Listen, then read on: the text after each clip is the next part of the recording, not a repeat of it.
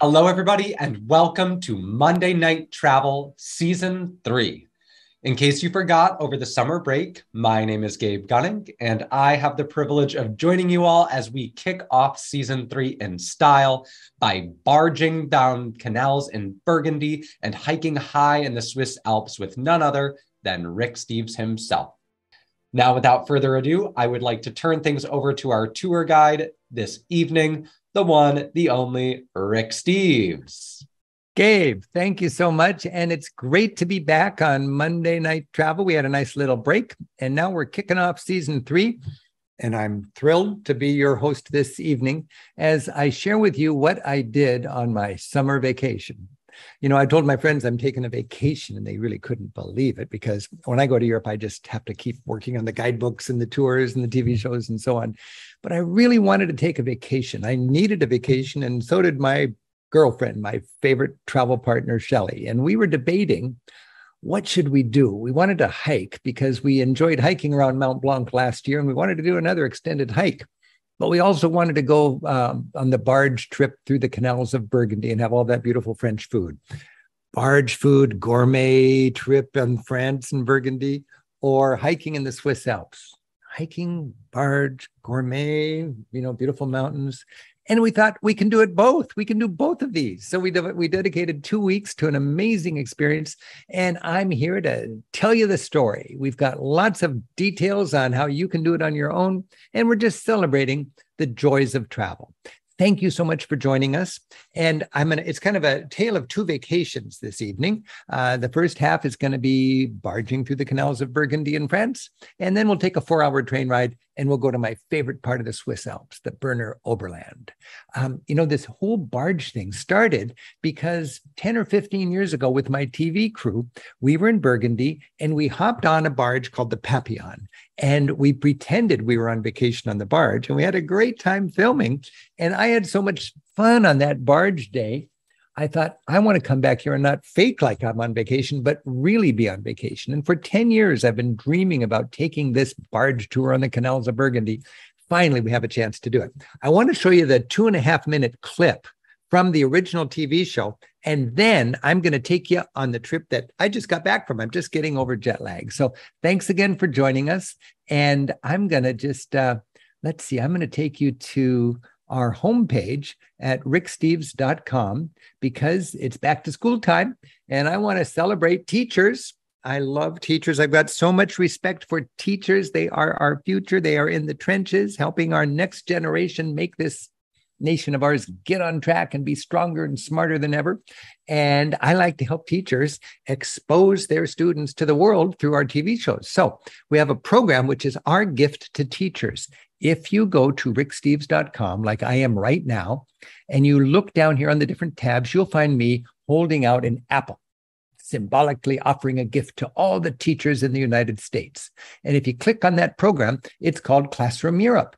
And what we have here, it's a complicated, I mean, there's lots you can do here, but uh, basically, you got five or 600 clips, three, four, five minutes each, and you can type in whatever you want. I'm on the search bar here, and I'm just going to type in canal.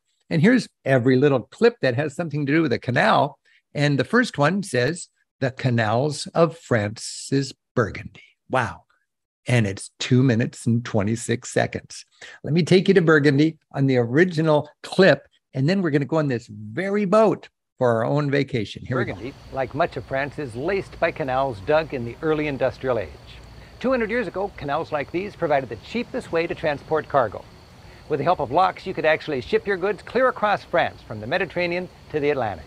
Today, trains and trucks do the heavy hauling, and canals are for relaxing, an art form in which the French excel. Whether you're cruising in a big full service luxury barge or a small captain it yourself boat, the basic experience is the same a lazy glide by pastoral themes. Yeah, I think they turn away. You think so? This time I'm joined by my friend and co author of my France guidebook, my favorite Francophile, Steve Smith. I love slowing down. Cruising is the best way to see Burgundy. It forces you to slow down. And Steve's family is hitching a ride too as we learn how the French, who invented our modern concept of a vacation, are onto something good with barging. Oh my. The canal side lane, built as an industrial age towpath, is ideal for jogging, strolling, or biking. Boats come with bikes, and the pace is relaxing enough to allow for excursions. Your ride is punctuated by a lock every mile or so. By going from lock to lock, boats can gently climb step by step over the rolling terrain.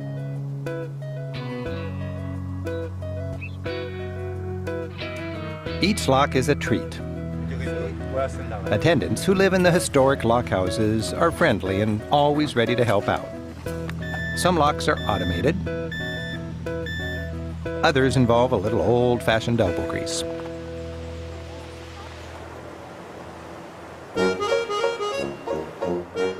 Full-service barges can be hired with a captain and crew who do the navigating, cooking, and guiding.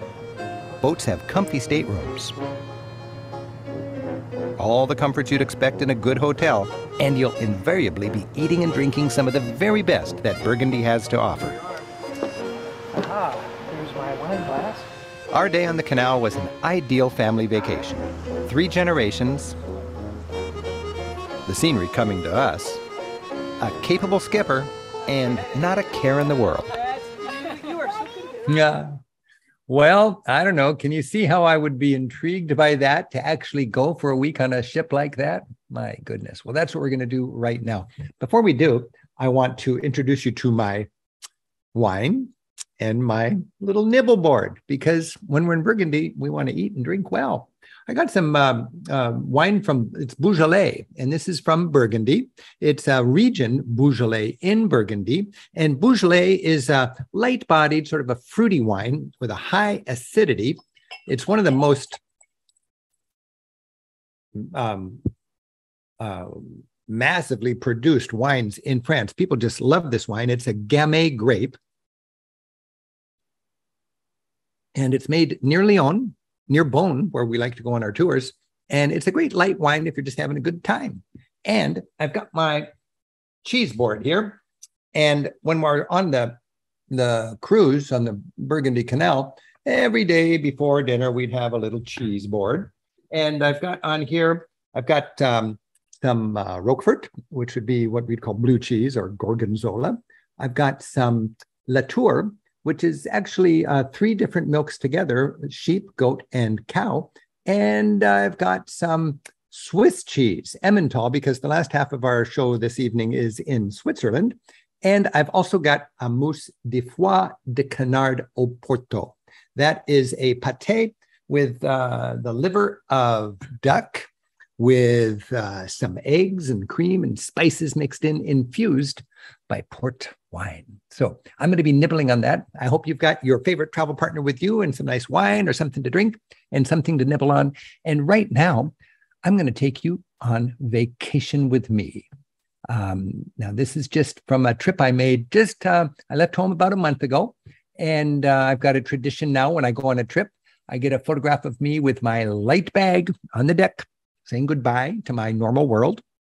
There you see the bag I live out of, 9 by 22 by 14 inches, carry on the airplane size suitcase. Especially these days, you don't want to check any luggage if you can avoid it because of the congestion in airports around Europe as they try to staff up. Uh, if you're not checking any bags, you're in much better shape. And instead of my normal day bag, I took my fancy Osprey bag there because I was going to do some serious hiking. And every day for seven days in a row, that was going to be with me as I explored the Alps. Okay. I love a direct flight to Europe, and we flew from Seattle straight to Paris. We were on a fancy barge tour, and that meant at the airport, we were met by a minibus that took us all the way to Burgundy, and our captain was waiting for us at the Papillon. This was our home for a week. This is a 1902. It's a 120 year old cargo boat that was renovated and turned into a luxury um, vacation boat, but originally it did on the canal what boats did on the canal, why the canals were built back in the 1800s to take goods from the factories, from the fields, from the silos into the market. And uh, it's a 100 foot long boat. Uh, the Papillon uh, is uh, specializing in beautiful cruises on canals and on rivers in Burgundy. This is the flag of Burgundy that flew from the bow of our boat. We had a crew of four the captain, Lee, uh, the chef, Luke, and two mates. And they took great care of us. And we had a, a, uh, uh, uh what do you call it? A passenger list of four. So we had four people serving four vacationers, and it was first class, I got to say. Uh, me and Shelly and our good friends, Bob and Jenny, and we had the boat to ourselves. Now, when you think about the inland waters uh, in Europe, in France in particular, you've got rivers and you've got canals that connect the rivers. And uh, you're not really going anywhere, you're just on the canals. So, you know, we started on the Seille River in Louhans, and then we went up uh, back onto the uh, Saône River, and then we got off on the Canal du Centre. But it doesn't really matter where we went. The captain took care of that. I was on vacation. When you're thinking about going on the waterways of inland France or anywhere in Europe, you got options. I mean, the big boat is the, you know, like the Viking River cruises that we hear so much about.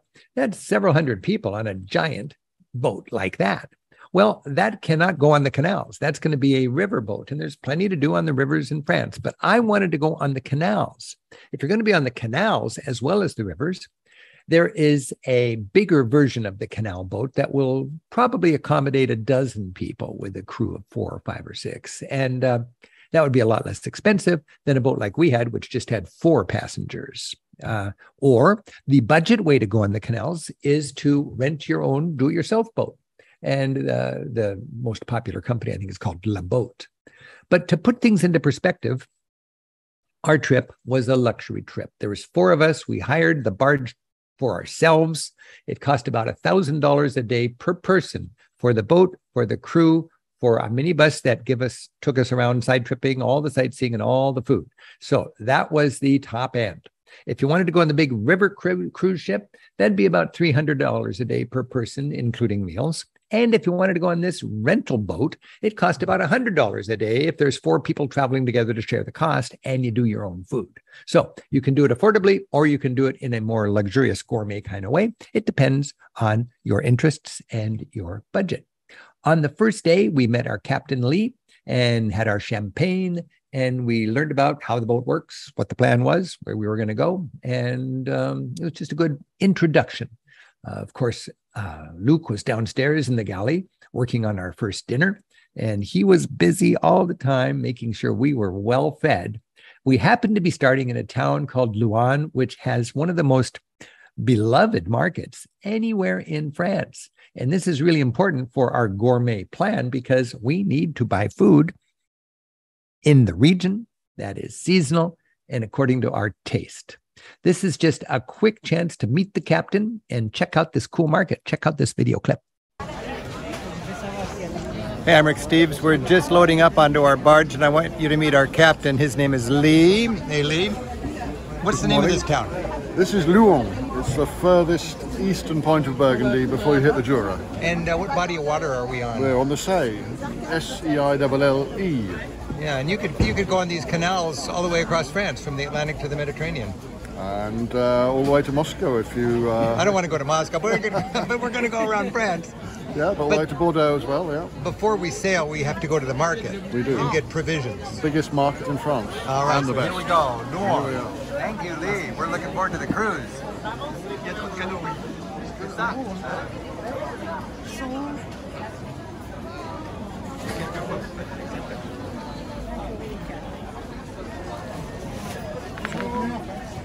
It's just an amazing scene. In fact, the longest line is right here, and this is for Chevaline, Boucherie Chevaline, which, if I under if I understand correctly, that means horse meat.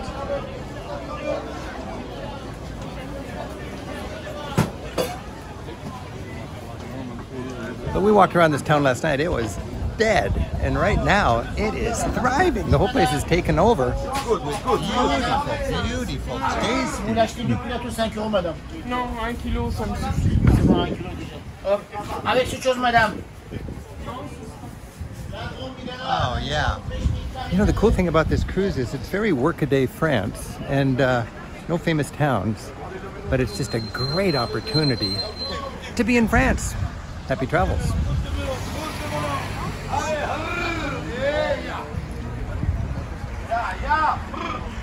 Oh my goodness. To be in those markets, I just gotta, I just gotta stop sharing here and just say it's nice to be with you. This is so fun to have had this trip and to be able to come home and share it with all of my friends on Monday Night Travel. Here's to you and here's to your travel dreams. I think 2023 is going to be a great year for traveling. And I hope you can pick up some ideas as we dream together right now. So we're in that market. And, uh, you know, we want local food, we want seasonal food, we want to make sure Luke has what he needs to cook to our finest dreams beautiful, tasty, fresh produce. Mm. And I had some thoughts about bucket lists while I was in this market. I want to share it with you here with this clip. You know, I'm Rick Steves. I'm in some little town in Burgundy in France. I think it's called Louhans. And I've got a real problem with bucket list travel. You know, people have a bucket list of famous things. I've never heard of this town, Loire. It's not on my bucket list, but this is real France. And the point is, you can just experience real France. I mean, this is just your no-name little family pub, and it's market day. Everybody's here with their dogs and having a glass of wine in the morning. And the gang here sharing a nice, beautiful bottle of local white. But uh, the rain cleared up. We're in the shadow of the church, and uh, it's market day. And uh, this is the time when everybody gets out. It's the great equalizer. Everybody stands in line, everybody tastes it the same.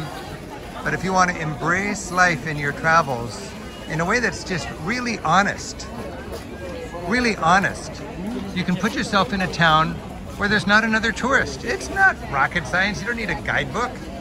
You've just got to know how to travel. You just got to know how to travel. And today, I'm traveling in France and I don't have a bucket list. Happy travels, happy connecting, happy experiences.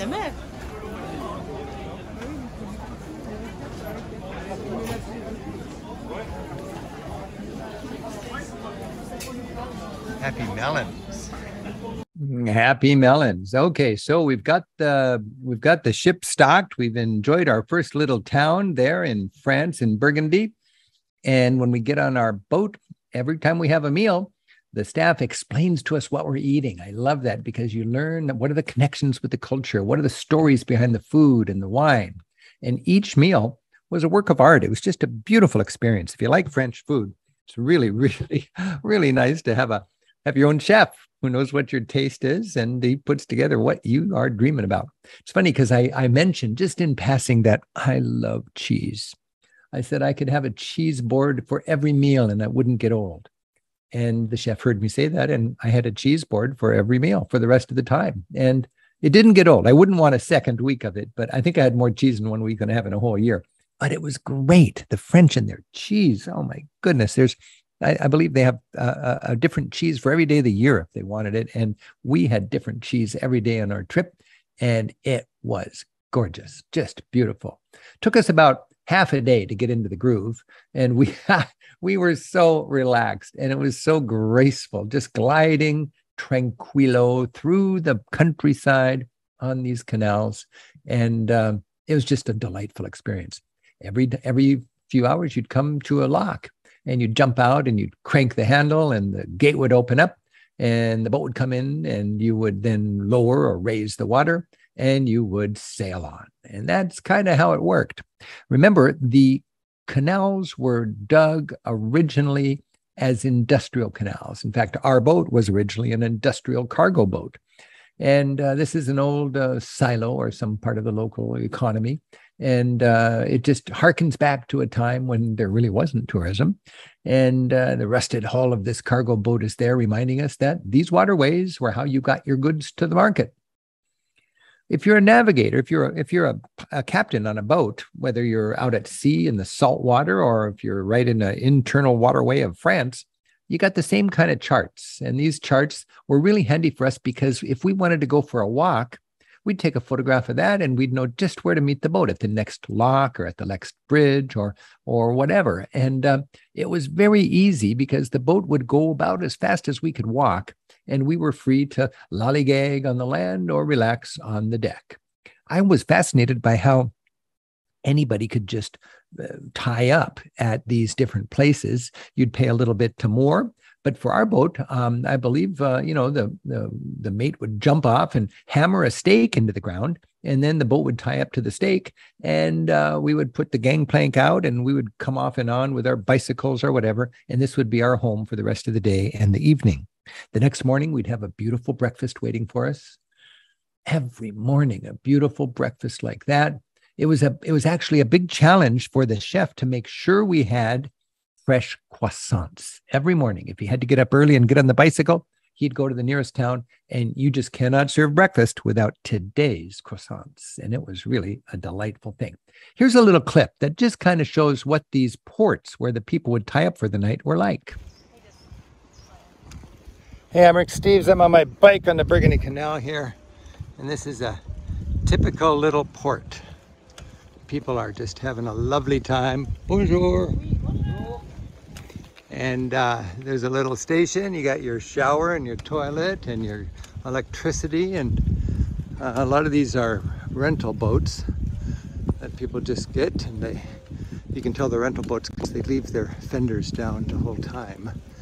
And there's always in France a great restaurant when people stop in a little tiny village and tie up. But this is the Canal du Centre in Burgundy and we've been out on our bikes taking a little trip up and down this industrial age canal which was dug and maintained throughout the industrial age because it's the best way to get your you know your your grain and your production to the market. But today of course there's not much of that. But there are beautiful boats like our boat. This is the papillon. And uh, this is a whole kind of beautiful beautiful new way to enjoy the great out of doors in Burgundy.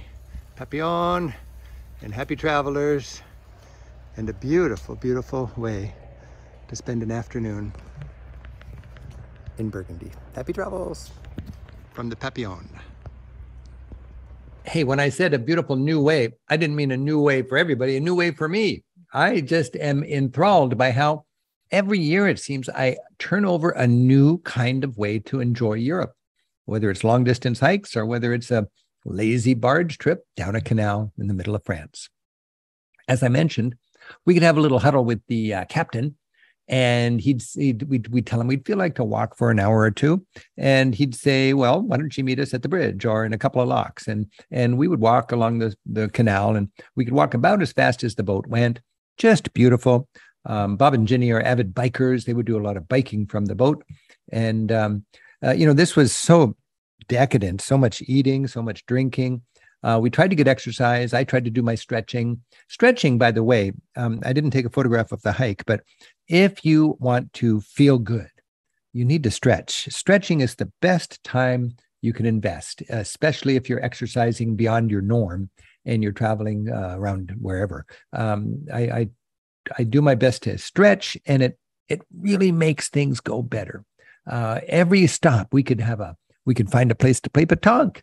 Course, the boat would have its petanque. The boat comes equipped with everything you need. And, and we taught our friends how to play this wonderful game petanque. And the boat had its own minibus.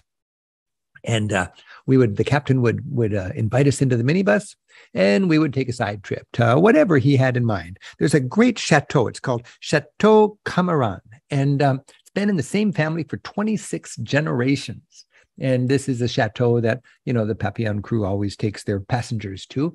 And um, I didn't even know about this chateau. And it's a beautiful experience. The grounds and the interior, amazingly well preserved interior, creaky floors, creaky doors, and so on. Nearby is a place called Brancion. And this is in our guidebook. It's the place we like to take our tours.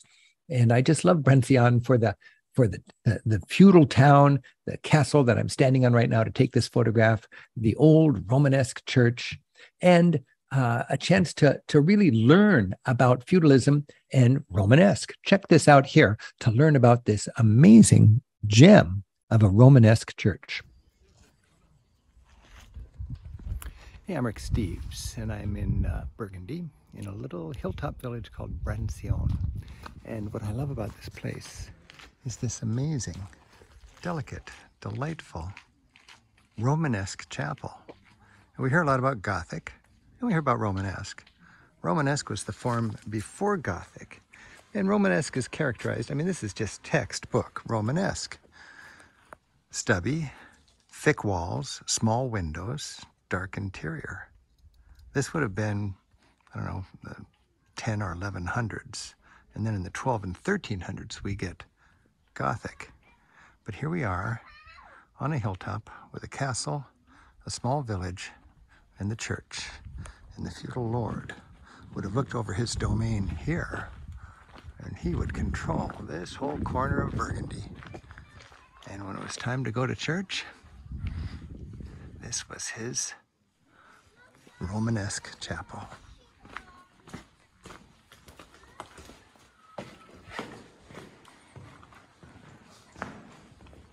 Romanesque was dark. And when you sit in a Romanesque church, you feel it's dark. And what Gothic was able to do was change out the round arches and have pointed arches. And with a pointed arch, you'd have bigger windows. And with bigger windows, you'd fill the church with glorious light. But I kind of like the Romanesque. And 800 years ago, so did this guy.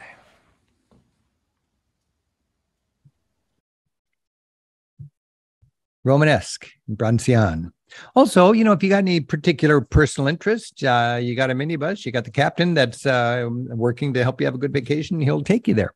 We all are big fans of Taizé. It's uh, sort of a um, uh, interdenominational, youthful monastery gathering place in uh, in the heartland of monastic Europe, around Cluny. Taizé, T A I Z E. A lot of people have uh, Taizé music at their churches, and it's just a beautiful, beautiful community. We dropped in there and we just dropped in unannounced, and we got a tour and a great look at a phenomenon in Europe, really. And then we went to some amazing vineyards. Um, we went to a place called Chateau de Chamirey, Chateau de Chamirey, and they've just got their very, very beautiful vines and a proud family that for generations has run this place. Our captain knows them well. I mean, they're so well connected with these tours. We went into the the, the, the man of the manors, um, you know, um, special den filled with uh, historic bottles of wine, and then we got to sample the fruit of the vine, and it was a beautiful experience. And when we sample some wine on a cruise like this, you can bet that that evening the captain will have bought a few bottles, and we'll be sure to drink them on the deck of our boat every night under the stars. We just had beautiful evenings, more cheese, more wine, more cheese, more wine. Oh, baby. Well, we got uh, into that groove on the canals and um, we got to uh, just the boat was our hotel. It was our home, the beautiful living room, wonderful staterooms, just beautifully designed, amazing boat, great bathrooms. It was all just lovely done. And uh, we got to be good friends with our with our crew and a nice last pastis as we cruise across the countryside of Burgundy. And then we are on our way to Switzerland. So that's the first half of our trip. And from France, we got on a train for four hours and we went to Lauterbrunnen, Interlaken, and then Lauterbrunnen. And uh, in last year, I went as as I mentioned, I went around Mont Blanc, and uh, Shelly and I hired a company that lined up our hotels, which came with dinner and provided a Sherpa service that took our bags from one hotel to the next. And every day for a week, we would uh, put our bag in the lobby. We would hike uh, the whole morning to get to a ridge We'd usually go from 5,000 feet at the hotel to 8,000 feet to the top of the ridge, have our picnic lunch, and hike down into the next valley where our bag would have been taxied ahead and meet us at the next hotel. We'd have a great dinner, a wonderful evening, and the next morning we'd do the same thing again. Up a ridge, picnic, down to the next hotel, see our bags, up a ridge, down, up, and it was a, one week, 60 miles, uh, 10, uh, six, 60, 10, uh, six, 10 mile hikes, and it really worked well. Uh, for this trip, we didn't have the Sherpa service. We didn't have the tour company. We just did it on our own. And we booked a hotel in Gimmelwald or a bed and breakfast to stay in for the beginning and the end. And then we put together three mountain hotels in the middle, middle where we hiked from hotel to hotel over 72 hours. That's what we're going to do now And it was a delightful experience. Uh, the weather was good. Uh, the hiking was just at our right level. And we just had a glorious time. Uh, this is uh, the map of the valley around Gimmelwald, which I, I've loved for decades. And I just like this map because when I look at it, every little valley, every river, every waterfall, every farm, every lift, every peak, it has a memory. You just know it. And now when I look at that, it's just filled with the joy I've had enjoying the Alps in a firsthand, intimate kind of way. That's what we embarked on for a whole week. No more gourmet food. It was just grocery store picnic lunches. And it was great. I'm very thankful in Switzerland for the Migros and the co op grocery stores. For $20, we would just get whatever we wanted for lunch. And it was a beautiful lunch each day. Uh, we started out in Lauterbrunnen. Uh, we found that um, we really like to take photographs uh, behind the wall of falling water that you get when you go behind a waterfall. This is Staubbach Falls. So you can hike up to Staubbach Falls and be behind it. And it's just a beautiful sort of moment as you're in Lauterbrunnen Valley. On our first day, we rented bikes just to kind of ease into the hike. And uh, we biked up to the top of the valley from Lauterbrunnen to Stechelberg, and then all the way down the valley to Interlaken. And not wanting to bike uphill all the way back to Lauterbrunnen, we paid half price to get the bikes onto the train and just took the trains back to Lauterbrunnen. It was a beautiful day, and that was a, a way to start our alpine experience to know the valley floor. We stayed at Hotel Oberland, which is run by Stephen McPhillamy, and we've had him on Monday Night Travel. Stephen is one of our guides at Rick Steves Europe. He's a great Irish guide, and he's got a hotel in Dingle and he's got a hotel that he runs here in Lauterbrunnen Valley. And he's just an impressive hotelier. And one of our tour groups happened to be there. This is one of our My Way Alps tours. And it's the tour that has 12 days just for the best of the Alps from Italy through Austria, through Switzerland, and finishing at Chamonix in France. And I had so much fun sharing a few moments with each of these people from one of our Rick Steves Alpine tours. And they were having a great time. And then we headed up to Gimmelwald. And I want to, I really learned a lesson from my friend Ollie, who just said, you really need to take this opportunity and hike to the end of the valley, just an hour away. And here's a little video clip that explains the joy of getting away from the village, getting away from the hotel, getting away from the people and surrounding yourself with nature. It just takes an hour and you got to take the initiative and make it happen. Hey, I'm Rick Steves. I've just hiked an hour, good solid hike, an hour out of my little village. I came to a place called Kilchbalm. It's the end of the trail, and it's a meadow. In fact, there's a, a cave up there where the uh, shepherd used to hang out, they say. And here we have a, just a feeling of the power of nature as we make sure to get away from the villages, away from the crowds,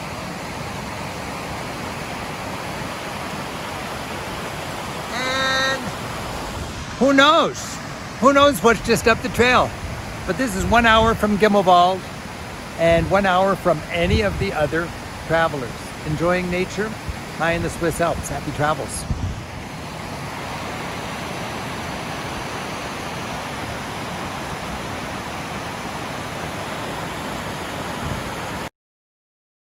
I got to say, that is so beautiful. And the lesson there, as I mentioned, is very clear you need to take the initiative and take that walk. I'm my I'm not a good example of this. I, I have to remind myself because every time I do it, I earn a lifelong memory, whether it's in the Cotswold villages, you know, whether it's on the Loire Valley, whether it's up in the Swiss Alps, uh, whether it's on the beaches, uh, the, the Cinque Terre. An hour is a good solid walk. It gets you away from all the tourism. It puts you in the middle of nature, in the middle of that culture. Be sure you do that. That was a hike that Ollie recommended I take, and it was just a very gentle uphill the valley for one hour. Spend an hour at the end of the thing just enjoying it, and then hike back in time for dinner. What's not to like about that? Hey, this is Monday Night Travel. I want to thank you for joining us. I want to remind you we, are just kicking off our third season now. Uh, next week, Steve Smith is going to take us to Alsace. The week after that, our friend Ben Green, right on our own Monday Night Travel staff, is going to share his experience in Russia and in Helsinki. He was there when the war broke out, and then he had to leave the country and go to Helsinki. Ben's got some great lessons, some great stories to share two weeks from tonight, right here on Monday Night Travel. Three weeks from tonight, on the first Monday in October, I'll be back talking about my new art series. In a couple of weeks, we're debuting our six hour mini series, European Arts, Rick Steves' Art of Europe. And it's been the most exciting creative challenge in my career to put this together. It's been a two year project. And I'm so excited to share it with you. I want to give you a behind the scenes look at how we produced the art series and some of my highlights of this six hour series three weeks from tonight, right here on Monday Night Travel. I want to thank our staff. We couldn't do it without our staff, our wonderful staff. Gabe, he's our moderator tonight. Um, we've got Ben, who's back from Russia, and he is answering questions right now. Julianne and Lisa. I think Lisa just flew to Europe a couple of days ago, and she's leading one of our tours. But we've got this wonderful, wonderful staff of four great travelers that are our Monday night travel team, and uh, they do a great job. I want to remind you that uh, every uh, Monday night travel, we put in the chat section links to anything of interest in that evening's show. And today, we've got the whole um, lineup of everything I'm talking about and the websites and so on of the hotels and, and everything in the link in the chat section there. So check that out to get all the latest. I also, um, I had a guy from a um, publication called Insider interview me about my favorite little things that I take to Europe, the 25 uh, unique things that I take to Europe. And it was a it was a curious thing for me to do this interview and it turned out really interesting and we've got a link to that interview that article right now in the chat section. And then in the q&a section that's where you ask your questions and ben is organizing the questions and he's going to shuttle them over to gabe and then we're going to answer your questions uh, as soon as i'm done with this swiss alps section. So thanks again for joining us. I want to remind you that we are partying together. I hope you've got your favorite travel partner with you and a nice glass of wine or whatever you like to drink people are usually curious about what I happen to be drinking. I want to remind you again I'm drinking Beaujolais. Beaujolais is a light, fruity wine from Burgundy. It's not a classic Burgundy wine, but it's from a region of Burgundy, and it is with a Gamay grape instead of a Pinot Noir grape, which is the rest of the Burgundy wine that's more famous. But this um, Beaujolais is a fun, light wine, and uh, it's one of the most highly produced wines in France, and you'll certainly find that in your travels, and it is worth looking up. Also, I've got my nibble board here. We're in Switzerland, so I'm enjoying a little bit of Emmental cheese. Mmm, Emmental is Swiss cheese. I mean, it's the cheese with all the holes in it. Um, that used to be the sign of problems, but now they kind of make a big deal about it. They like the holes in it. It's um, from Emmen Valley. Emmental, tal is the German word for valley. You mix the Emmental cheese with Gruyere if you're going to do that fondue and dunk the, your bread into the molten cheese. Mm, it's cow cheese, aged for about four months, and it seems to go well with my Gamay grapes, my wine. Of course, I think anything goes well with wine. Mm. We've also got my mousse canard de what foie du canard. Foie means the liver, and canard is duck, and it is mixed with eggs, with spices, and then infused with port wine. And I've got a little Dijon mustard because we all like the word Dijon, and that happens to be just a short drive from where we are on our on our cruise ship there. Mm. And I'm just wishing that you were right here so I could tell you more stories. But we're doing our best right now. We're virtually together. We're celebrating travel, and now we're going to carry on. So we are hiking in the Alps, and it's all about this vista right here the Eiger, Monch, and Jungfrau. Those are the big famous mountains. On the left is the north face of the Eiger, famous for rock climbers. In the middle is the Monch. And on the right is the Jungfrau. In the saddle between the Monch and the Jungfrau is a mountain station right on the ridge. Can't hardly see it there, but a train goes tunneling through the rocks and it comes open at the very top of that ridge, believe it or not, 11,300 feet. 120 years ago, they did this tunnel. And it is still, I think you could call it the ultimate alpine trip. And um, the whole story is you got the Eiger, Monk and Jungfrau. The Eiger, that's the um, the ogre. The monk is the monk, and the Jungfrau is the young maiden, uh, the virgin. And the uh, the ogre wants to get the maiden, but the monk protects the maiden. The Eiger, monk, and Jungfrau. We went up to the Schilthorn, 10,000 feet for breakfast. The Schilthorn was opened the same year they did the James Bond movie on Her Majesty's Secret Service. And before they opened it to the public, they used it as a prop in the movie. And today they have lots of fun making the movie theme entertaining for people who come up and visit. Uh, all of the lifts in, in the Alps are quite expensive. And they're working hard to give you these little value added experiences. So you feel good about spending $40 to go to the top of the mountain or whatever. They have these thrill walks. And uh, here's a little clip that shows you the thrill walk at the halfway station on the way to the Schilthorn called Birg. Walk with me on the thrill walk, walk at Birg. Hey, I'm Rick Steves, enjoying one of these many amazing Swiss Alps lifts. We're at the medium station here, and they've given us a little bit of excitement to pass the time while we wait for the next ride. Look at this. Here is the chance to gain confidence in Swiss engineering. Are you having a good time? yeah, we do have. Wow, I'm walking on glass. I could plummet to my demise. But no, we're surviving the Swiss Alps. God, it's beautiful.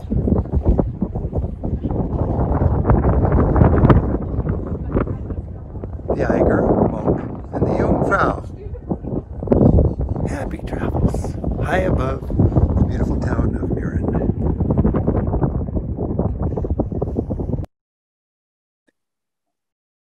It just occurred to me, by the way, don't overreact to your weather app. You know, a week before we got to our Alps, it, we looked at our app, you know, on, on your iPhone, and it just says rainy, rainy, rainy, rainy, five days of rain. It looked like it was going to be terrible. Same thing happened last year when we did the Mount Blanc trip. You cannot sum up a day's weather in one icon. That's the thing. Sure, there might be a thunderstorm in the afternoon, weather changes, it blows in and out. We had glorious weather a year ago on the Mont Blanc trip, and we had glorious weather on this trip. And we were stressed out each time because the app said it was going to be miserable weather. Uh, you need a more sophisticated, a more detailed weather report, or you just got to realize the weather's going to change. You're going to be there regardless. Bring the right right gear for the weather if it turns bad on you, and then make it happen. We had glorious weather uh, the whole week that we were hiking in the Alps. And I'm just so thankful for that. I want to remind you Switzerland knows how to build solid and they're investing in their infrastructure. And it's so interesting just to check it out in your travels. This is a new lift in the town of Mürren. Uh, they've got these beautiful lifts, whether it's cable cars or funiculars or whatever. And at the top of each lift, you've got entertainment for the hikers, for the families. There's playgrounds, there's cafeterias, there's little cinemas, there's nature walks, you name it. One of my favorite hikes is what we took next. It's the North Face Trail, the North Face hike. And it's not on the North Face. The North Face is way there in the distance on the left, that shaded side of the Eiger. That's the North Face. That's what the climbers climb. But on this hike, we have views of the North Face. And here you have the beautiful trail signs that tell you what's your altitude, where you are, and how long it take to walk to this and that place. We took our picnic lunch with us. That made a lot of sense. We found a nice spot to have our picnic. And then we did the North Face Trail. There was historic reader boards that talked about historic uh, ascents of the North Face and beautiful benches from where you could sit and ponder that adventure. Coming into these high mountain farms, just it's so much fun. This is the highest farm in the valley here. Im Schild, it's called. And when I got there, I realized, hey, we were here filming a couple of years ago. About the last thing we filmed was our Best of the Alps special just before COVID. And uh, uh, we were at this uh, farm watching the cheese being made in the traditional way and then learning from a man who played the beautiful Alphorn.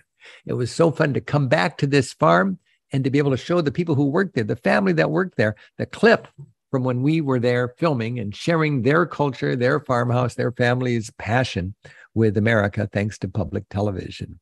Uh, this is a good use for the Classroom Europe program. Went to ricksteves.com, went into Classroom Europe, typed in Alphorn, typed in G's Alps, and we had the clip just like that. And they had a kick watching it. By the way, All of our shows are available for free anytime, just a click away at ricksteves.com. And we produced that one hour special on the Alps just a couple of years ago, sharing our very important tips for Italy, Austria, Germany, Switzerland, and France. The best of the Alps in 60 minutes. It's a great hour if you haven't seen it. From that mountain farm, we hiked through a forest to a waterfall that I really like. It's called Spritz. And we got there and we hiked behind it. I love to hike behind waterfalls. Another cool opportunity for a photo. And then we hiked through a forest and we came to my favorite town, Gimmelwald, from the top. Normally we come from the bottom on the lift, but here we come out of the forest and we see the steep fields from where the farmers cut the hay. And then down at the bottom of that is our favorite village, Gimmelwald. Walking through Gimmelwald, it was like coming home. This is the main square in Gimmelwald. And I had a little visiting to do with my work. So I wanted to meet the new, uh, the woman who runs the youth hostel now. I've been coming here ever since I was a kid. Wonderful new management, lots of energy at the Mountain Hostel. I like to drop in and see David, my friend who runs the Gimmelwald, the, the rest, the pension Gimmelwald, a little hotel, the only hotel in Gimmelwald and the only restaurant in Gimmelwald. And he actually makes a prize winning craft beer. And uh, he's just a cool guy. He's been running this hotel for 14 years, and it's a great thing for the village of Gimmelwald. And from here, Shelly and I are leaving for a three day adventure. And from Gimmelwald, we look up the hill I've looked at for decades from Ollie's porch. And if you see the little plateau there on the very top, that's called the dancing table. And that's where we're hiking to now. We're heading off for that. It's a steep hike. We got up there, and on the way, we came to a mountain um, alp, a, a, high meadow where the where the cows are and the goats are in the summertime before they put on the bells and dingle dangle all the way back down into the lower valley. And uh, it's called Busenalp. And Busenalp has uh, a, a bunch of cows, a few goats, a couple of horses, and a handful of chicken. And I wanted to meet the woman who runs the place. This is Elisa. And Elisa lives there alone with the animals, takes care of them throughout the whole summer, and then brings them down at the end of the season. This is your classic Alp situation the high meadow where the goats and the cows munch on the grass and the Swiss milk the animals and make their cheese. We had a great time visiting with Elisa, and then we hiked on. Uh, there's a main trail, and one thing that we really were happy we did was hide our bags, stow our bags whenever we took a detour. You can see Shelly down at the bottom of the trail there. We just tucked our bags away here, and we did the side trip to visit uh, Elisa in her Alp, uh, and then came back and picked up our bags. Later on, we got to this fork in the road and we hit our bags again so we could make the side trip up to Tanzbödeli.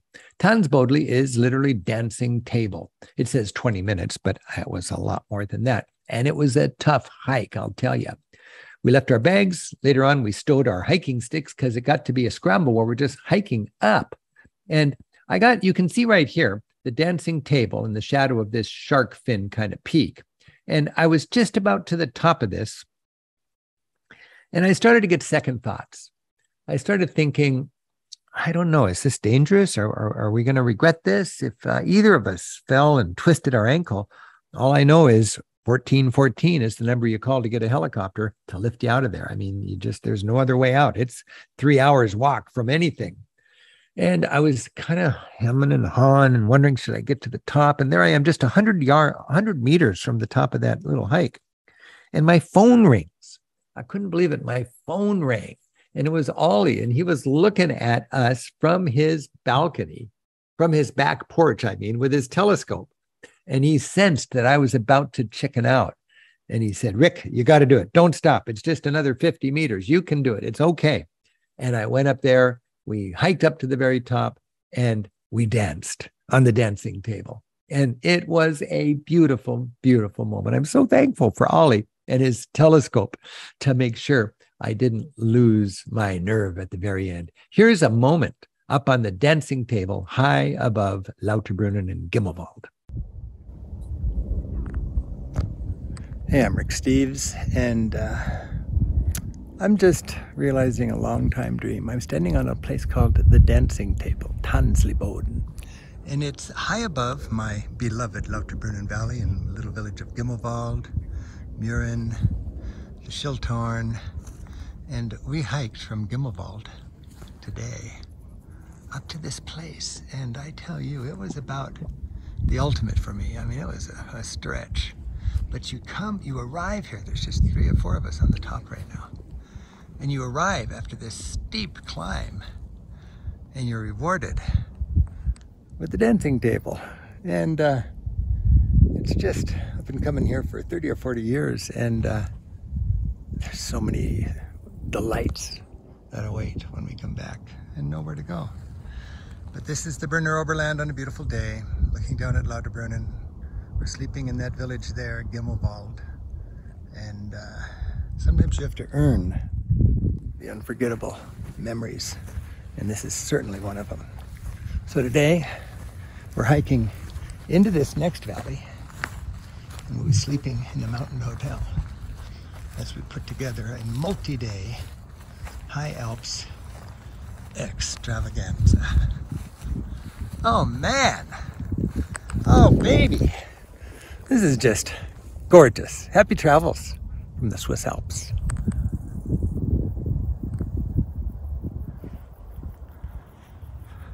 The dancing table.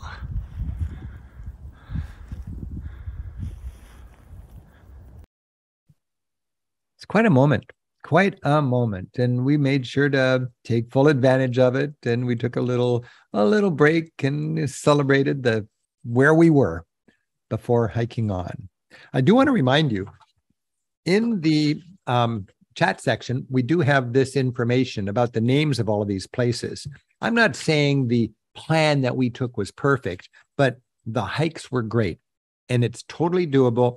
And um, it was not that expensive and uh, I'm just really thankful for it. So if you want the details, uh, the recipe for what we did, it's right there. Uh, okay, so we hiked, and this is the trail for a couple more hours. And we got to this mountain hotel. It's interesting to think that there are these venerable old mountain hotels. They go back to the 1800s and they're off the grid. It's two hours to hike to the nearest car, to the nearest paved road, to the nearest lift. You cannot get here without a two hour hike, and it's a tough hike. The ambience, the, the, the camaraderie, um, the, how good a beer tastes. I mean, it's an amazing experience. And um, we had a beautiful evening up there. Uh, the rooms are just woody and sort of uh, rustic, elegant. Uh, it's a great place just to put on your slippers and uh, just enjoy. Um, uh, the the food is is hearty. There's no menu. You got to eat whatever's cooking. There's not much electricity. There's not much Wi-Fi. There's not much water, but everybody is having a great, great experience uh, doing the Alps. Uh, late in the evening, uh, just about the end of dinner, the the sun is warming up the mountains before it goes down, and we all went out and took a picture of that. And I had to take notes. I was on vacation. I was trying not to work. I didn't work at all on the on the Burgundy Canal trip because that's not in the book. But this is in the book.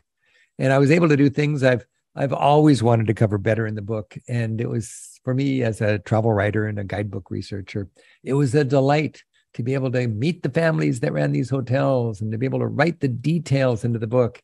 And I actually got a lot done just on making our chapter, uh, this chapter in our Switzerland book, stronger and better than ever. The next morning, we hiked for three hours to get down back down to Lauterbrunnen Valley. And, and here you see, way at the head of the valley, this is the upper Lauterbrunnen there. We hiked down that valley to get to here. And then we caught the bus uh, from Stechelberg all the way to Lauterbrunnen. And from Lauterbrunnen, we caught the train up to Wengen. And from Wengen, we took the gondola up to Mannlichen. And this is where all the tourists go. This is easy. Wengen's a big resort. It's just a 15 minute ride to the top to Wengen. And uh, you've got your playground, you've got your cafeteria, you've got your restaurant, and you've got a beautiful stroll, just a two hour stroll from Mannlichen along views of the Eiger, the north face of the Eiger, right there. It's right in your face. And you're heading for Kleine Scheidegg. This is where two trains come together. This is the highest depot. And then from there, the train goes uphill and it tunnels through those rocks all the way to the top of the ridge to 11,300 feet. That's the Jungfraujoch train. Um, I'm going to show you in a minute a station called the Eiger Glacier. It's way up here where the where the snow ends, where the ice ends. That's the new terminus for the new lift that goes directly down to the resorty town of Grindelwald. But we slept in this big 19th century old world elegant hotel on top of Kleine. This is where traditionally the mountaineers that are about to climb the Eiger, the north face of the Eiger, spend their last night before uh, embarking. And we had a beautiful, beautiful dinner there and a wonderful time after people went back down. For decades, I've been at Kleine Scheidegg when it's just a mob scene, when it's pandemonium, when everybody's trying to get on the train and everybody's there in the middle of the day. At night, the last lift down, the last mountain biker rolls away, and all of a sudden it's just you and a handful of travelers that decided to spend the night up there. The stars are bright. Ah, the food is good.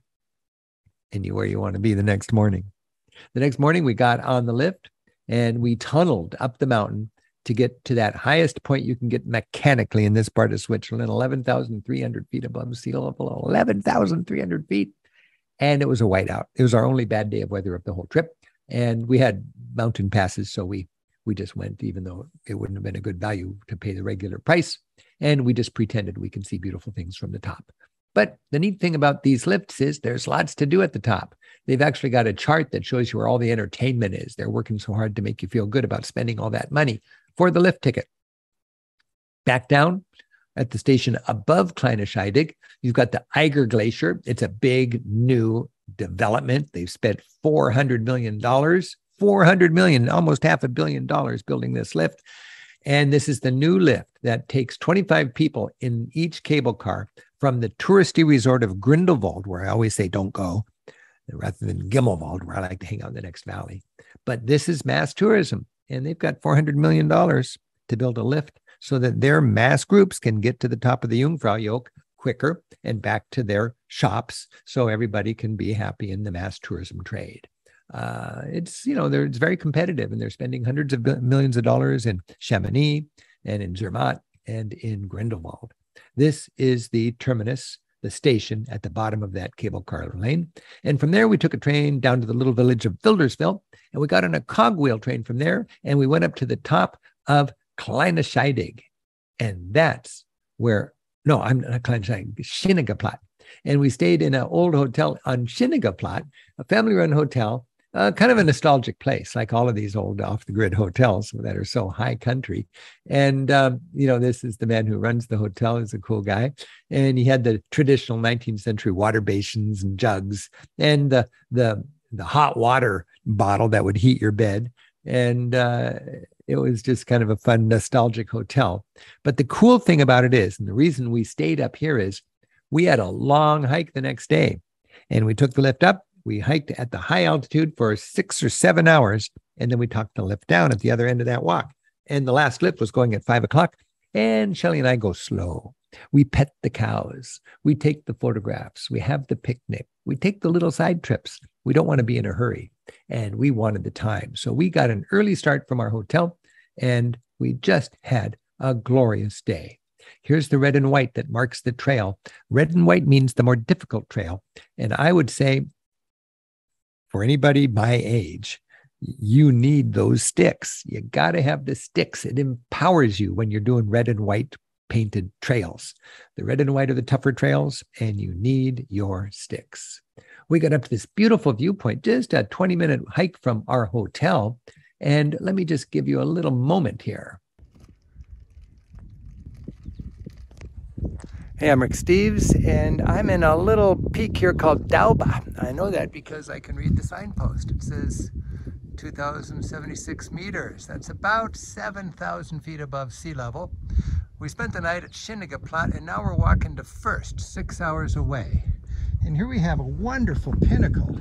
I mean, I love these 360 degree views.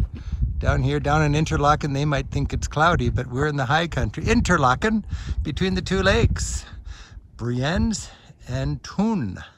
And around us here, we can see the glorious Berner Oberland, the Bernese Oberland, French or German, the area south of Interlaken, famous for two valleys. There's Lauterbrunnen and there's Grindelwald. This little spot is called Daube. And ahead of us, we got the Eiger Monken Jungfrau. So today we're going to walk about five hours, maybe six hours, along this ridge.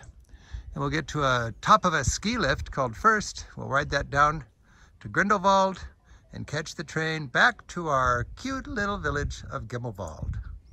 Oh man, hiking in the Swiss Alps. Gee whiz. It's really, really a highlight of any vacation. Happy travels. Happy travels from the Bernese Oberland. Wow. Embarking on this hike, it was seven hours, no water between the beginning and the end. So we had to be sure our water was filled up and we kind of had to ration it. As I was explaining where everything was there, it's kind of, it's sort of a deja vu about being a tour guide because for 25 years I was taking groups up into this valley and everybody is disoriented. And it's just kind of stressful. And you want to have a great time tomorrow, but you don't know what ends up. And um, it's just flat out confusing but you got to just grapple with it and and you know as you're out and about look at the map and put things together and pretty soon you get accustomed to it and you know where you are. I know where we were here. We were on the most glorious ridge walk I have ever done. I did it a couple of times in my 20s. I haven't done it since. And now with Shelley, I had the chance to do it again. All of my teaching career, I've used this as an example of the magic that awaits you when you venture into the better corners of the Alps. And when I was a kid, I I had this notion that you're walking on a ridge and this and that, and I I've, I've used this little moment to describe it. And I I was back here doing it again in person, and it was so cool. Let me just share with you the the moment that I've remembered ever since I was a kid, and I've shared in my lectures all these years. Hey, I'm Rick Steves, and I'm happy and high in the Swiss Alps. And ever since I was a kid, I've been reminding people you can put yourself on a ridge, like tightroping on a ridge, high above the valleys. On one side, you got lakes stretching all the way to Germany. On the other side, you got cut glass peaks, the Eiger, Monk, and Jungfrau, just glorious mountain scenery. And ahead of you, you hear the long legato tones of an Alp horn, announcing that the helicopter stocked mountain hut is open. It's just around the corner, and the coffee schnapps is on. Happy travels. Mmm. And the coffee schnapps is on. Man, oh man, what a day. What a day. The weather was nipping at our heels the whole day, but it, it stayed good. And we kept walking. And it was, it was enough to raise your poles into the air and just celebrate. I had a magic moment here, and I just want to give a little love to my boots, my bag, and my hiking poles, and the most classic little alpine farm you can imagine. Here you go. Hey, I'm Rick Steves. I'm enjoying a beautiful hike in the Alps. I just wanted to show you a classic alpine farm. Look at this meadow, all this luscious, luscious salad, and there's a bunch of happy cows and a beautiful farm. And I'm just on a ridge here. And uh, I gotta say, this is my kind of hike.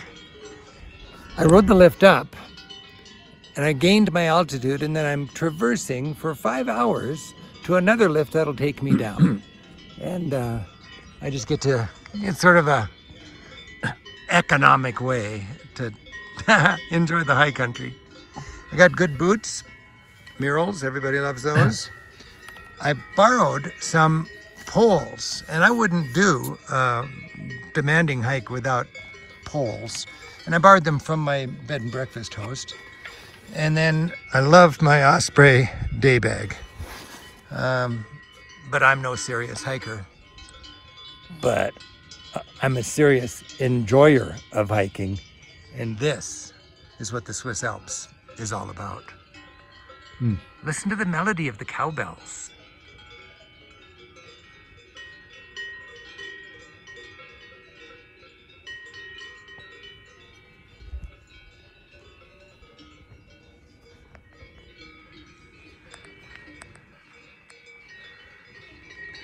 Ah!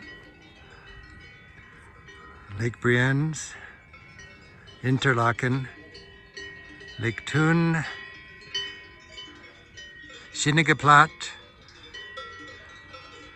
my beautiful little farm, the Eiger, Monk, and Jungfrau.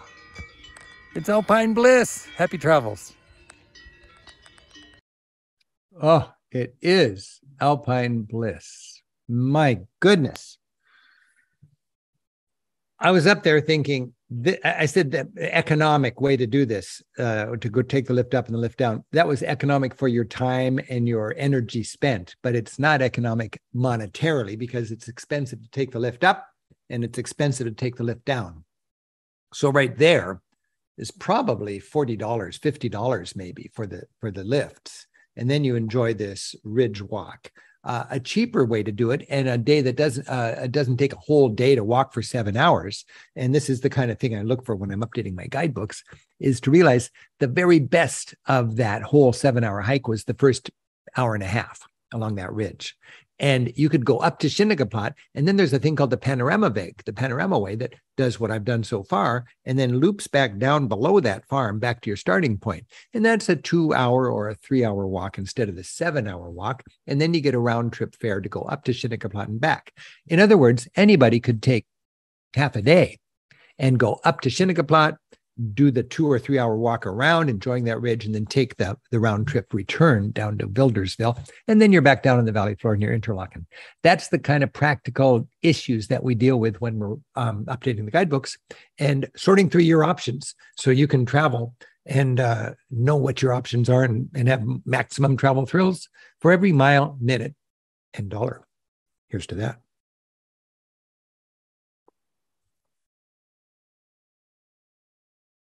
Yeah. I hope you're enjoying our hike. We're almost done. I just wanted to have another sip of my Beaujolais. It's kind of fun to be so close to France and still on top of the Alps, mixing it up. Let's carry on here. This was an amazing day to be on this Alp. Ah, it was just so good. We hiked and we hiked. There was a little hut halfway, but nobody could go there without being a customer. So they had a toilet, they had water, but you couldn't use it.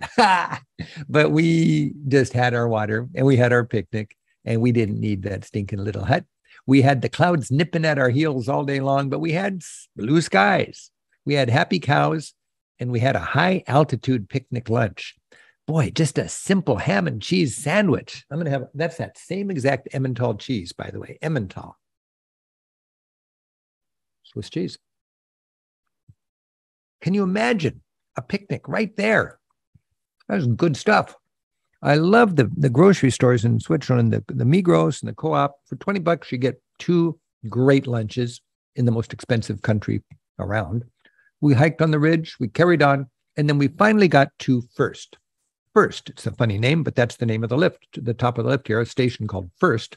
And you have one of these thrill walks again. You can see the, the walk, and it takes you all the way out and this is very, very popular with people who are not hikers, but they go up from Grindelwald, the touristy resort at the base of this lift. They just go up here. They have their Instagram mon- moment, of course. Got to have that.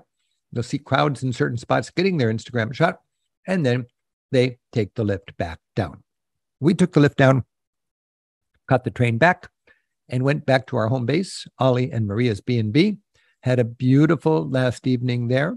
Maria is a violinist and I'm a piano player, and we made music together like we've always wanted to do. It was really cool.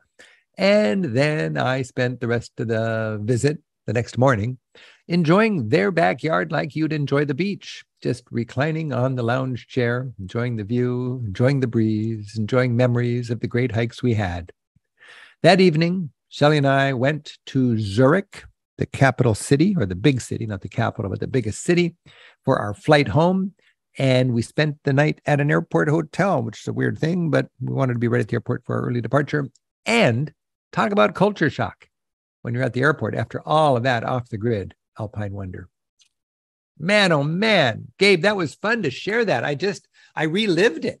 I relived it. And that's the fun thing about Monday Night Travel. So we get together and we we share these experiences every week. You get to host travelers that are just enthusiastic about what they've done, what they love, what they want other people to be able to appreciate.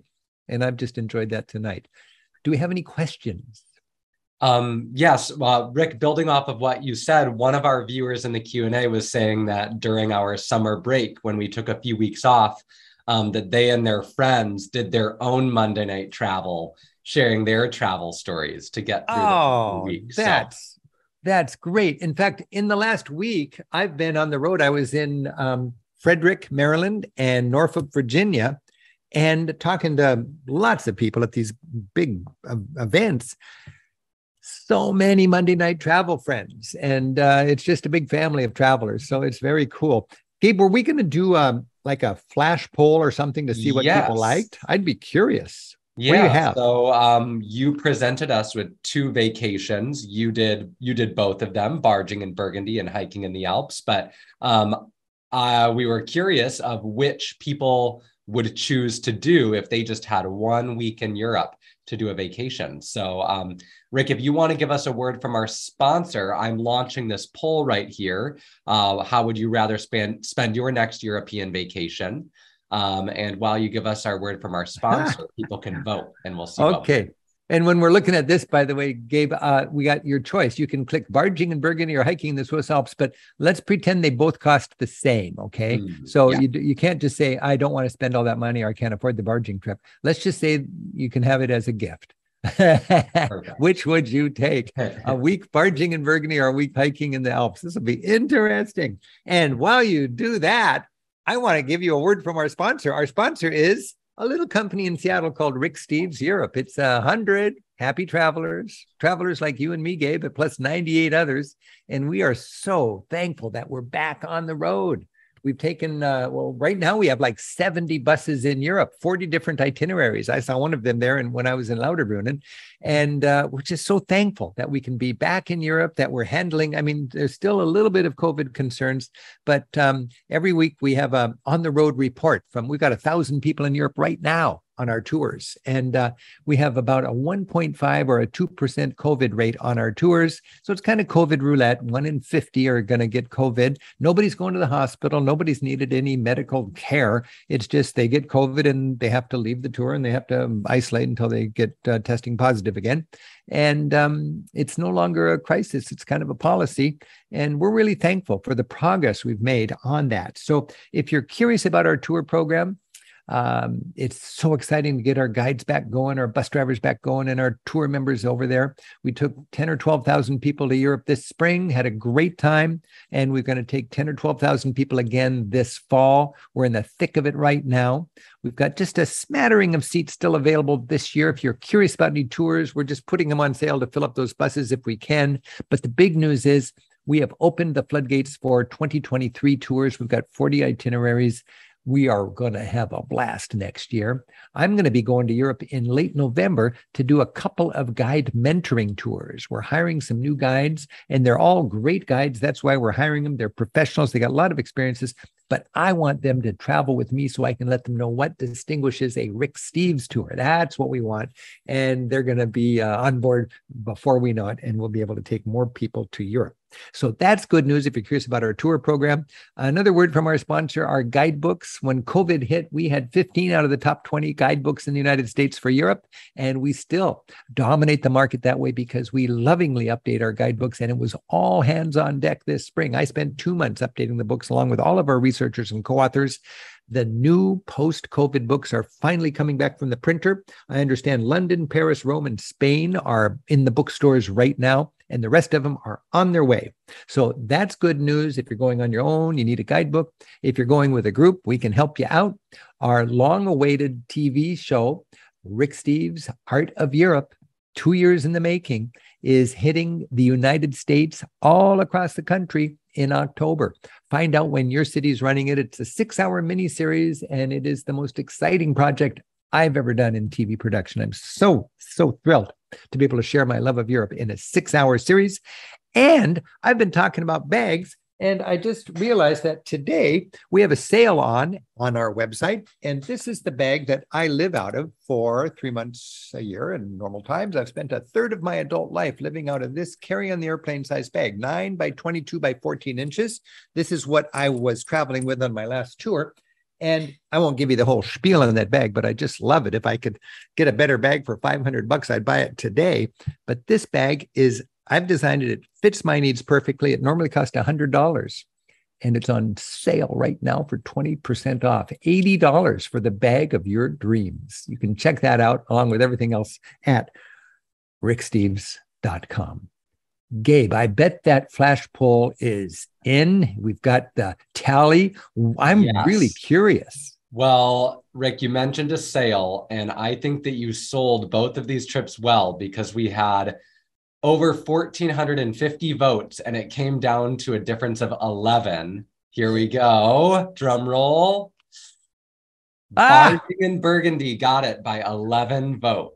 Barging, there's a lot of people that like to eat and drink surrounded by French beautiful scenery. Wow. And it Isn't was when you said that cost was not a concern that it kind of edged into the lead.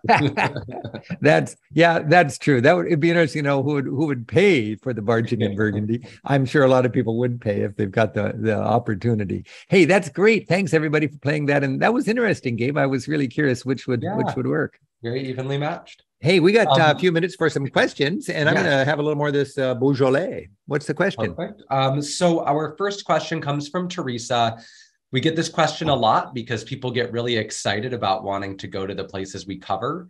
Um, you went to two very different places. What would you say is would you say is a good time of year to go to Burgundy, and what's a good time of year to go to the Swiss Alps?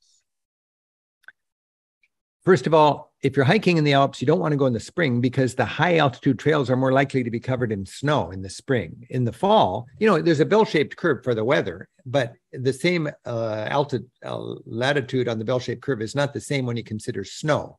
In the spring, you've got snow problems, but during the fall, you do not have snow problems. So I like the fall for hiking. I like to avoid the heat and the crowds of summer when I can. I'll tell you, when we were on the barge in Burgundy, had we been on that barge a week earlier, we would have been uncomfortably hot. There was a heat wave in France, and it would not. It would have been a real, uh, a real shame because we had been counting on such a beautiful experience. But we hit it just right, and we had beautiful weather, and it was just lovely. Uh, and uh, last year, when Shelly and I did our trip uh, in the around Mount Blanc, we did it in the same week we did the hike this year in the Berner Oberland, the first week in September, and it was just wrapping things up in uh, Mount Blanc.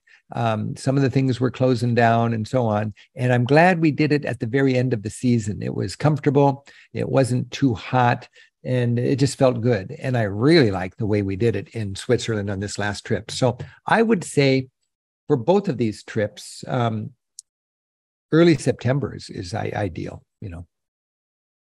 Additionally, Rick, Mark was wondering, um, did you and Shelly both manage to just pack a, a convertible carry-on because I mean you had two very different experiences. Um, yeah, yeah, yeah. All these excuses. two weeks, two months, rich, poor, north, south, man, woman, you know, old, young. It doesn't matter. You pack light. This is what I have to tell Shelly. Okay. you pack light. And um, we worked on it and uh, we did a good job. And it is a little complicated, admittedly, because you're on a cruise ship and you want to have some, you know, nice things to wear.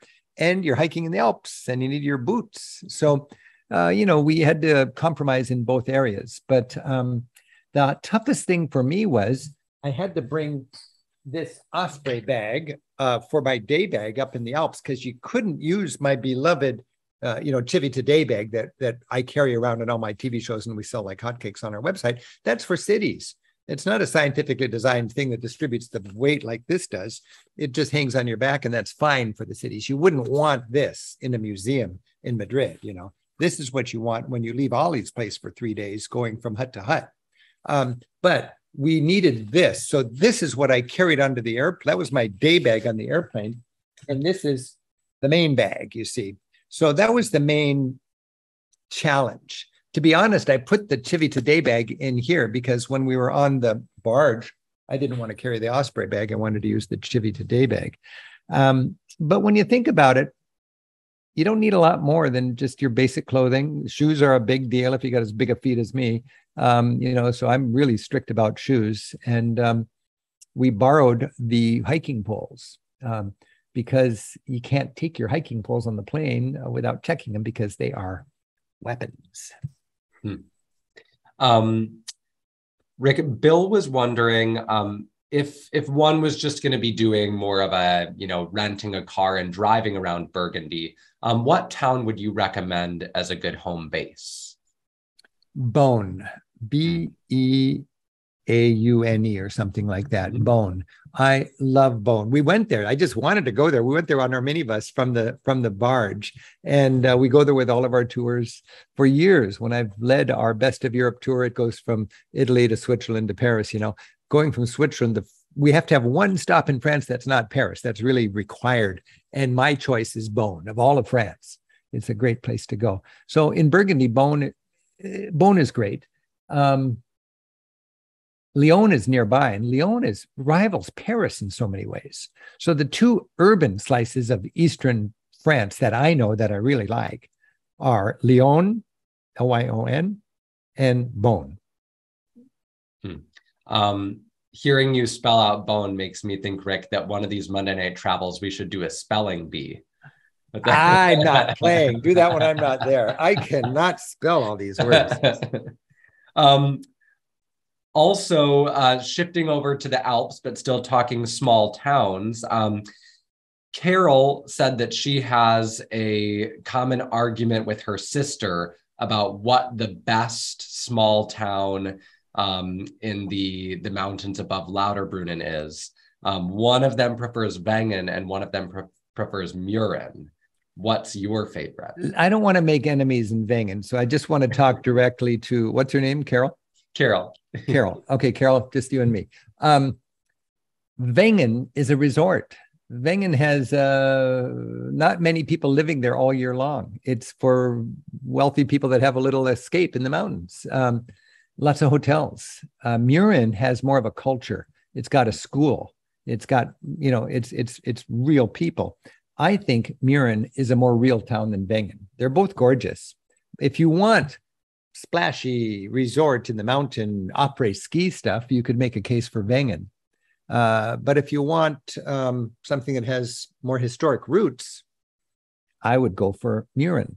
So it's a personal choice, and my choice would be Mürren. Uh, the nice thing about Mürren is it's on the less touristed side of the mountain, and it's just a half hour walk from Gimmelwald, where my heart resides when it's not hmm. elsewhere. Yeah, your favorite wouldn't be either of those. It'd be Gimmelwald, right? It'd be, it'd be, it'd be Gimmelwald, yeah. Yeah. Um, a few quick questions just about the hiking in the area. Um, another Carol is wondering how busy were the hiking trails? Did the you trails, see a lot of other people? No, the trails were not busy at all. The tra- and, and when you met somebody, it was delightful. You'd say Grüß Gott, Grüße, Guten Tag, Bonjour, Hi. I mean, it's just fun. There's just this little back and forth, and everybody's in a great mood. Everybody's very gentle. Oh, the world could be that way. if hmm. the world could be like just meeting somebody who speaks a different language in the Alps, that'd be a delight. Um, Cecilia was also wondering what do you know approximately what the highest elevation you hiked to was? You know her, her concern is probably are you going to feel the altitude and is that mm. a problem? Um, generally we would sleep at 5000 feet and hike up to 8000 feet. That was the case in mount blanc and that was the case in the berner oberland around interlaken where we were just now. And um, i don't feel the altitude between 5000 and 8000 feet at all um, I feel it a lot at 10,000 or 12,000 feet, and you can ride a lift up to 10 or 12,000 feet in Europe, and then you're winded when you climb the uh, when you climb the stairs. I would not want to climb at that level. I mean, because I'm not a rugged outdoorsy type um, mountaineer. But you know, if you hike, if you have a good solid hike from a 5,000 foot starting point up to 8,000 feet where you have your picnic, I'm not speaking for everybody because some people have altitude problems at much lower levels than I do. But I know a lot of people read this stuff and they hear these stories and they want to put on patches and take medicine and do all sorts of uh, extreme measures. I've never even noticed it. It's not an issue. I like the I like the altitude.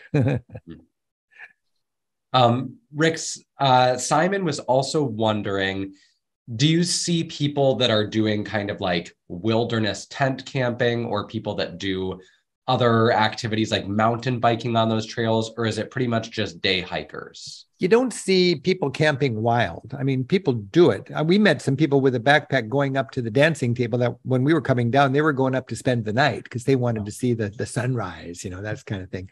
Um, but that's sort of the uh, exception to the rule. Um, mountain biking is a big deal. And you see that a fair amount when you're on a mountain bike trail, but we were not. Mm-hmm. Um, and otherwise, there's campgrounds, but they're in the valley floor. So you don't, you do not see a lot of that. You see people hiking and you have mountain huts, either huts or hotels. I wanted to stay in nice hotels. I didn't want to stay in a hut. There are huts up there, and they have things called Matratzenlagers. A Matratzenlager, I love to just say that Matratzenlager is a mattress uh, loft. It's a loft that's filled with mattresses, with an army blanket and a pillow.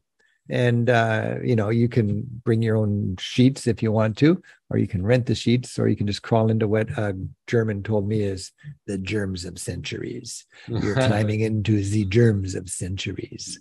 But that's a matratzenlager that's really cheap 20 bucks per person or something. Rick we have time for one more question. It comes from aaron um, I know that you've often said that the best day of each trip is when you get to come home to, to Edmonds, Washington. Uh, but Aaron was wondering over the years, the more you travel, has it gotten easier or more difficult to leave after a trip to Europe? To leave from Europe to go home? Yeah, just that the feeling yeah. of leaving that experience? Does no, it get easier? I'm, Does it get more difficult? I'm very um, privileged to be able to travel as part of my work. You know, when I, I mean, when I travel, I'm producing. So I'm actually, the more I travel, the more money I make because I'm just working all the time and that's my business. So I have an excuse to go back to Europe a lot. And um, I know psychologically it's not tough to go home because I know I'll be going again what right now kind of weighs on me is will I ever go back to these places that I'm going to again? That's a psychological thought that is seeped into me just as I've been deeper into my 60s. Europe is a big place. It takes 20, 30 years to go to all the places I love. Will I ever go back to Belfast? Will I ever go back to Toledo? Will I ever go back to to Monemvasia and the Peloponnesian Peninsula? Will I ever go back to Cappadocia in Turkey? Will I ever go back to Krakow in Poland? I sure hope so, but you can't know what the future is. But going home, there's no question that I will go back to Europe. And when I go home, I'm ready to go home. And when I get home, I'm ready to take off again. and in the meantime, we got Monday night travel, don't we? And Monday Night Travel is how we all get together, whether we're on a plane or able to go to Europe or whatever's going on in our lives. We can celebrate travel right here. I want to remind you next Monday, Steve Smith, our good buddy who knows more about France than anybody in this country, I would say, he's going to take us to Alsace. Alsace is that wonderful part of France that rubs up against Germany, where you meet people named Jacques Schmidt and mm. where sauerkraut comes with fine sauces. I mean, it's this quirky mix of German and French culture that just is so fun. Steve's going to take us to Alsace two weeks from tonight. Our own Ben Green from our Monday Night Travel crew is going to share with us the year he had in Russia.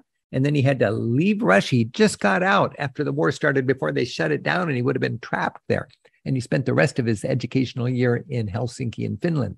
Ben's got stories and lessons to share two weeks from tonight, right here on Monday Night Travel. And then three weeks from tonight, I'm coming back and I'm going to be celebrating our new art special, our six hour mini series that's airing all over the country. Check it out in your city. It's booked for October. Find out when it's going to be. Put it on your calendar. It's just the most exciting thing we have ever produced. Six hours of European art from the beginning, from the pyramids to Picasso, from the Parthenon until today. I'm going to be talking about that on October 3rd. Hey, thank you all very much for joining us. We want to thank our crew at Monday Night Travel and wish you happy travels. Thanks.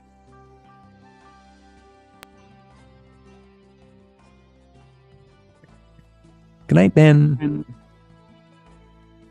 Good night, Rick. Good night, Gabe. Good night, Ben. Good night, Rick. Good night, everybody. Thank you for joining us.